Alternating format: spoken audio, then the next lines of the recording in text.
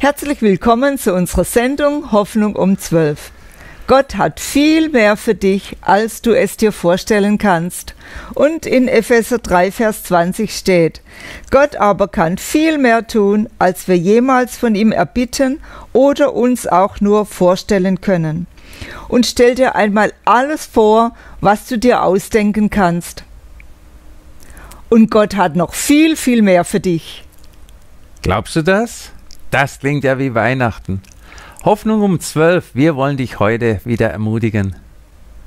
Lass uns dein Gebetsanliegen wissen auf gebet.missionswerk.de, im Chat oder auch am Telefon bis 13 Uhr. Gott deckt dir den Tisch. Wir machen weiter im Psalm 23.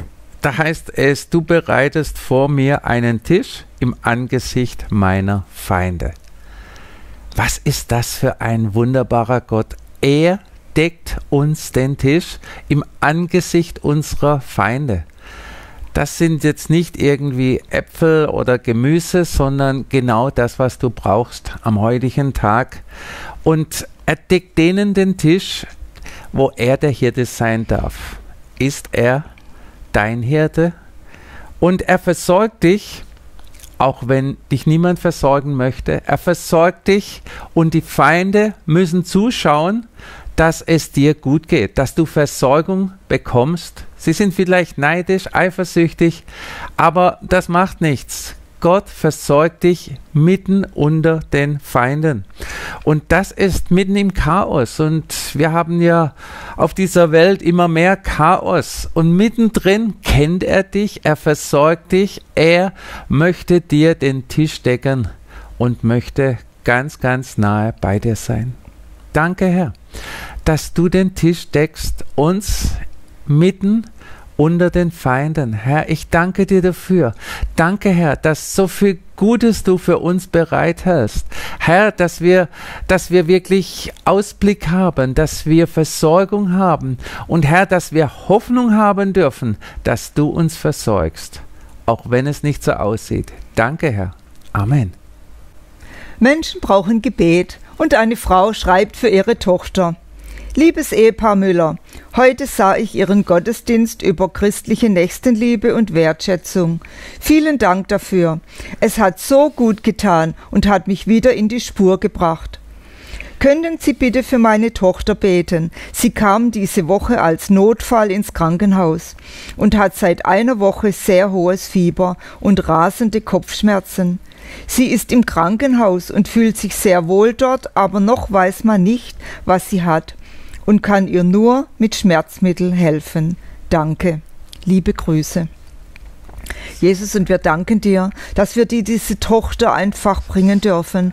Und du weißt, was sie hat, wenn auch die Ärzte nicht wissen, was der Auslöser ist, aber du weißt es. Und wir danken dir, dass du diese Kopfschmerzen wegnimmst, dass dieser Schmerz besiegt ist am Kreuz von Golgatha und dass er keine Wirkung mehr hat, dass dieser Kopf völlig in Ordnung ist und dass, dass auch das Fieber keine Wirkung mehr hat. Danke, Jesus. Wir entmachten alle Fieberschübe und wir entmachten alle Kopfschmerzen im Namen Jesu. Und ich danke dir, Jesus, dass dein Heilungsstrom durch ihren Körper fließt, gerade jetzt. Danke, Jesus. Amen. Amen. Und auf WhatsApp erreicht uns folgendes Gebetsanliegen.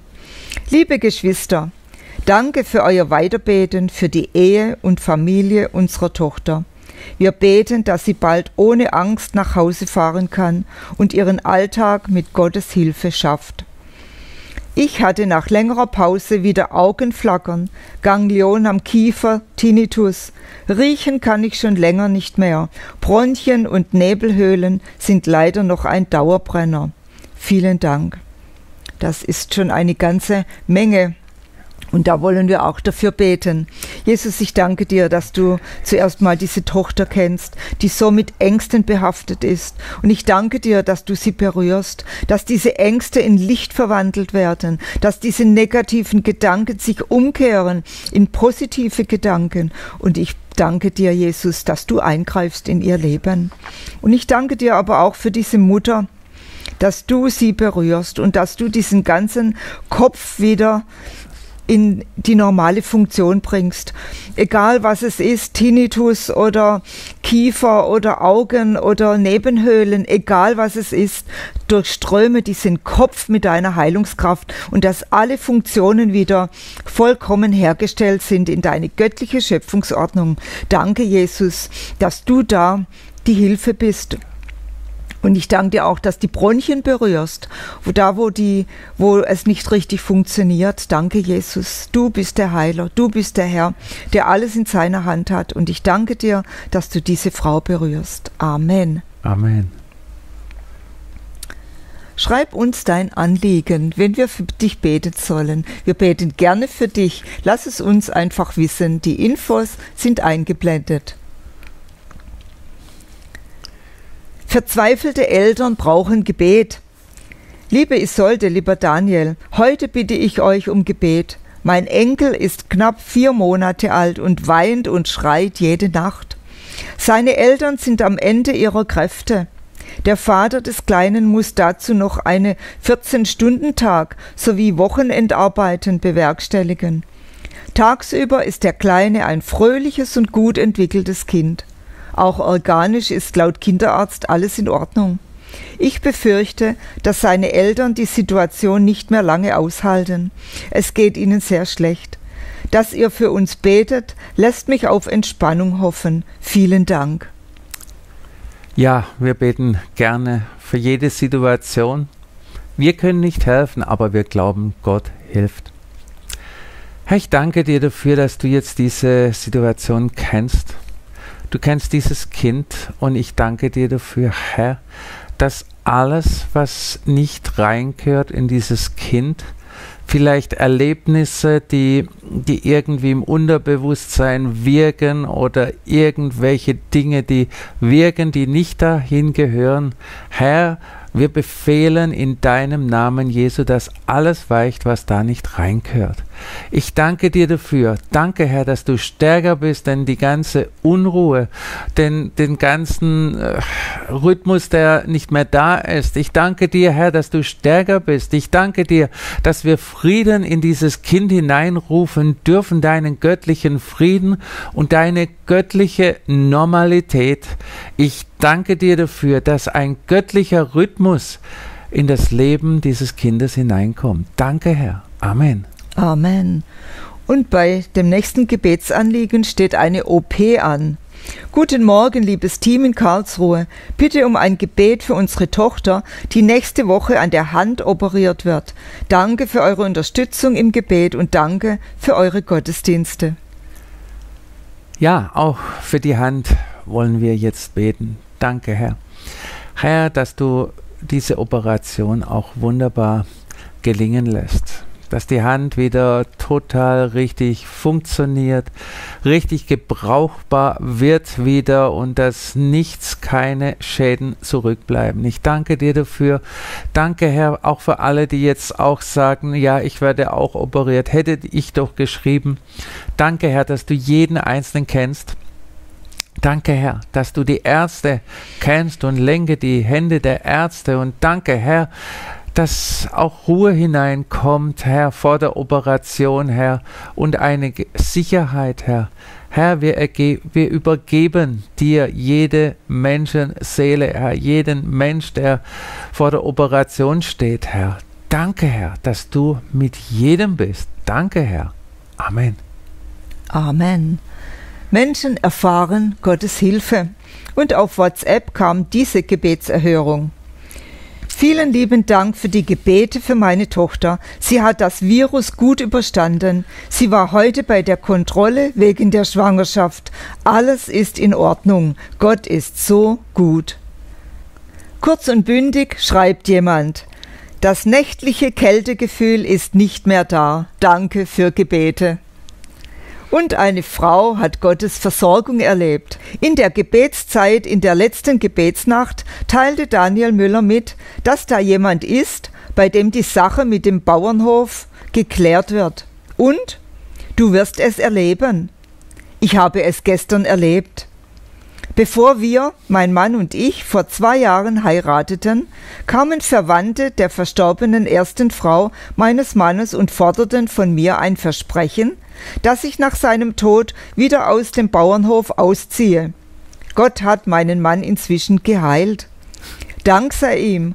Gestern teilten diese Verwandten mir mit, dass wir mit dem Erbe machen sollen, was wir wollen, weil es nicht ihnen gehört. Ist das nicht wunderbar? Ja, Gott greift ein. Wie schön. Und aus dem Schwäbischen schreibt uns eine Mutter Folgendes. Danke für alle Gebete für meine Tochter. Keines war umsonst.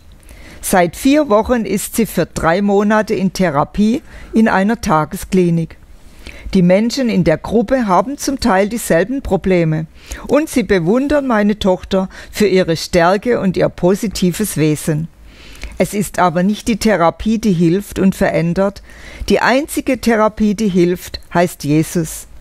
Ich sehe, wie das Gebet die Situation verändert, immer mehr und Schritt für Schritt. Vielen Dank auch für die vielen Ermutigungen während des Jahres 2020. Die guten Tipps und ermutigenden Zeilen haben mir sehr weitergeholfen und ausgerichtet, wozu sie gesandt wurden. Gebet verändert auch bei dir.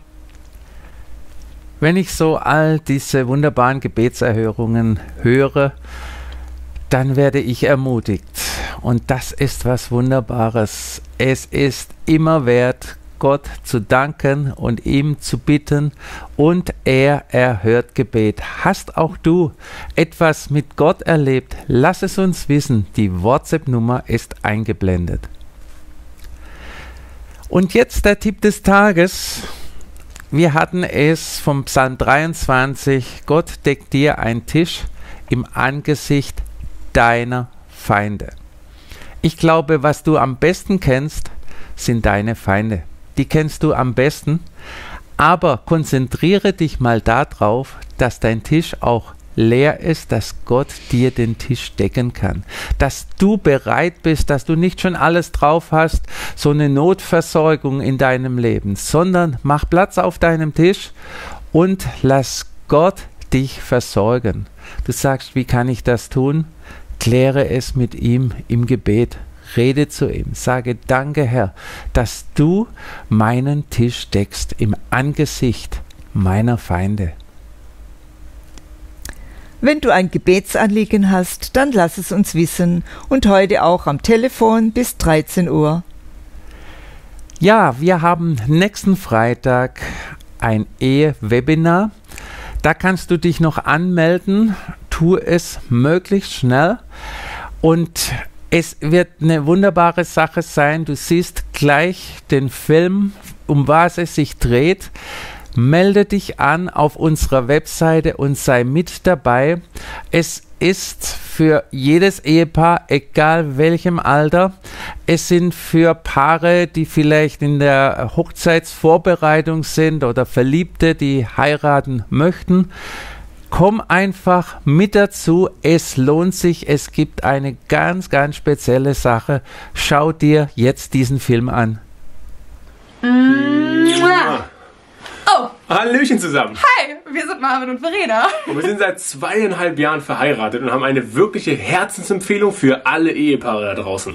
Genau, und zwar haben meine wunderbaren Schwiegereltern und Marvins Eltern, Dirk mhm. und Kirstin Schröder, haben ein Online-Eheseminar ähm, für euch vorbereitet an einem Wochenende. Genau, und was ich an den beiden einfach so doll schätze, ich bin ja da groß geworden offensichtlich und, und äh, die beiden haben mich einfach schon immer fasziniert, was für eine gesunde Ehe die haben. Und ich fand schon immer die Schlüssel spannend, die Bausteine spannend, die die beiden als Fundament genutzt haben. Dann habe ich Verena kennengelernt und wir haben wirklich gemerkt, dass die Bausteine in der Freundschaftsphase bzw. und Verlobung und jetzt Ehe wirklich funktionieren. Ja, und die beiden sind wirklich echt unser größtes Vorbild, was Ehe angeht. Mhm. Die haben uns in, in jeder Phase begleitet und ich bin so begeistert von den beiden, wenn man die echt so miterlebt im Alltag. Ich denke echt so, die sind wie so frisch verliebt, die sind über 30 Jahre, glaube ich, sind ja. die jetzt verheiratet mhm.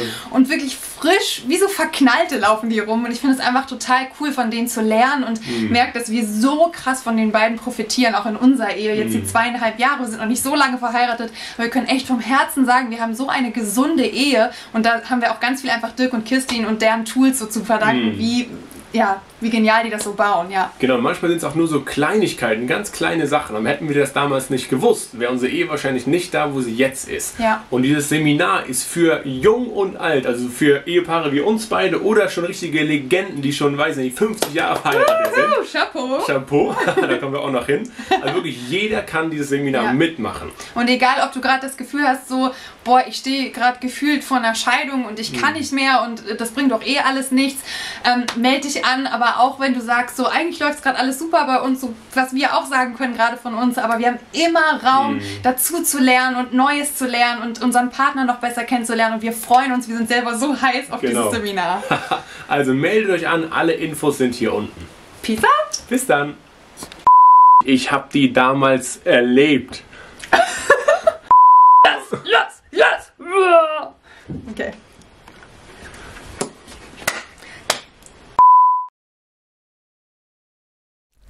Wir verabschieden uns bis heute und wünschen dir Gottes Segen. Alles Gute, der Herr segne dich.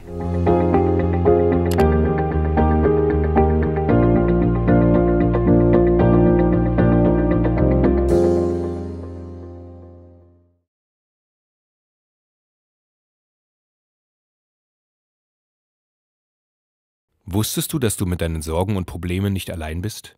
Schick uns dein Gebetsanliegen auf missionswerk.de. Dort findest du auch ermutigende Artikel und vieles mehr. Schau doch mal vorbei.